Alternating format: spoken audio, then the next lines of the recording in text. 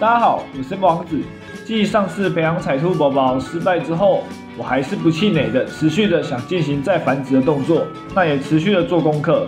我的观众独角仙呢，到对饲养斗鱼呢也有一套，因此我也请教了他许多饲养的问题。今天影片就是我的那对彩兔终于有要配对的迹象啦，因此我就打算记录给大家看啦。原本呢，我都是将它们公母分开着饲养在饲养箱中啊，那每天让它们对望啊，培养感情。那随着公鱼的背鳍跟尾鳍越来越长呢，那它也会在缸壁吐些泡泡。那母鱼的肚子也开始有抱卵的现象啊。那这些可以繁殖的讯息出现之后呢，我就打算将它们放在一起进行繁殖啊。那在置入同一缸之后啊，我也发现它们的体色出现了一些改变。公鱼的体色变得很深，也很鲜艳。那母鱼呢，也是有出现一些条纹的斑点。那这些也都是发情时会有的表现啊。所以之后呢，公鱼就开始筑泡巢啦，它们也要进行交配的动作啦。今天是我将这对彩兔放在一起的第三天啦。那昨天在这个公鱼吐泡泡的情况下，我就加了这个保利龙板放进它们的饲养箱里。大家可以看到，现在这个保利龙板的底下啊，跟这个外面一点点，都有非常多的这个泡泡啊。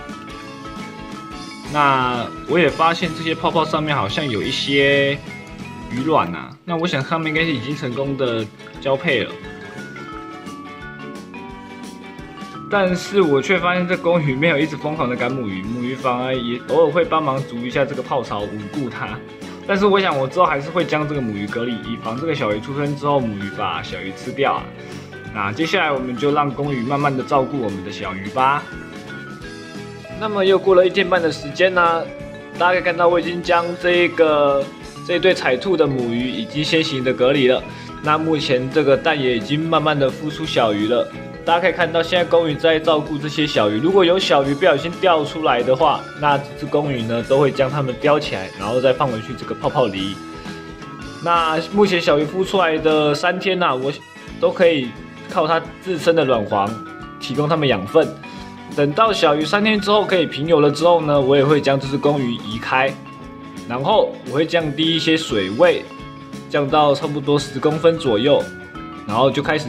独立饲养这一些彩兔的宝宝啦。今天是彩兔宝宝出生的第三天啦，大家可以看到现在水面上的这些在移动的小白点呢，就是我们的彩兔宝宝啦。是不是变得比较会游了呢？那我已经将这个饲养箱里面的这个公鱼呢，移动到隔壁的这个鱼缸啦。以防它将我们的彩兔宝宝吃掉啊！那饲养箱的水位呢？我也已经降低了这个十公分左右，目的是为了让小鱼呢能比较方便的上去呼吸，以防它们溺死啊。那这一次这个设置呢，也跟以往不一样。大家看到我连接了一个风管，那接了一颗小的气泡石，那这个气泡石外面呢裹着这个生化棉。目的是为了达到一个培菌的效果，让这个水质不会这么容易败坏啊。那这个目这个方法也是我请教这个独角仙所得到的这些资讯啦。那我也同时养了一只苹果螺，负责清理我们这个小鱼没吃完的残饵啦，都是要让这个水质不会那么败坏所做所做的一些配置啊。那这次让这个小鱼开口的饲料呢，是这个。我向这个网络上所添购的这个汽水蛔虫，那这也是多少仙校推荐的一位卖家所购买的。那他买这个汽水蛔虫呢，他都会附给你一张说明书。那说明书会一步步的指导你、引导你如何培养这样的虫。